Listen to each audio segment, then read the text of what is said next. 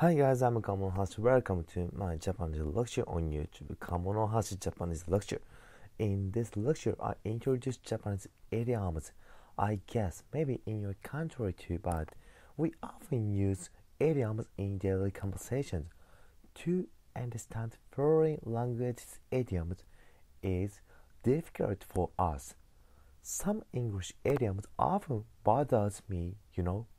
One day I knew one idiom and it is be on the ball. On the ball. Acrobatics or something. But it means when someone understands the situation well. Thus, idioms do not tell us the meaning straightly. So let's learn Japanese idioms. I teach you Japanese idioms as I can possible. Today's word is 相づちを打つ相づちを打つ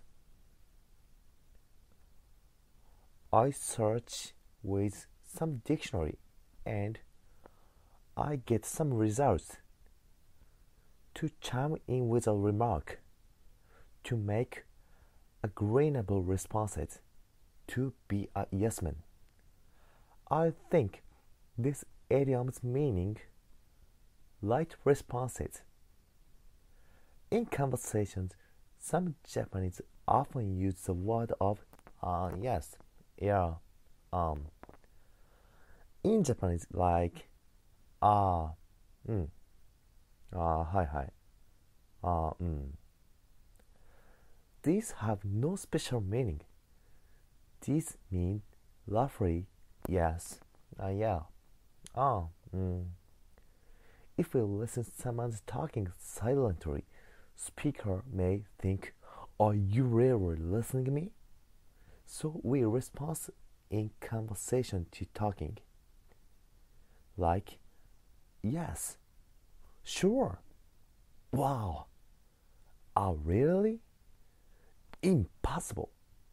Wow, a pity.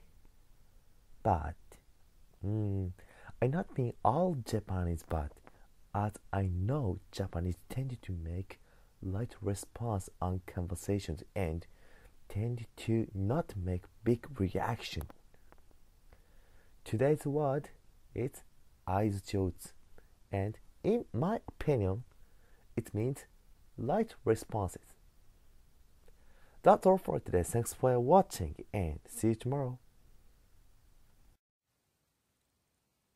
Thank you for your watching. Let's subscribe Kamonohashi channel. Check another Kamonohashi's stuffs on the web. See you next lecture.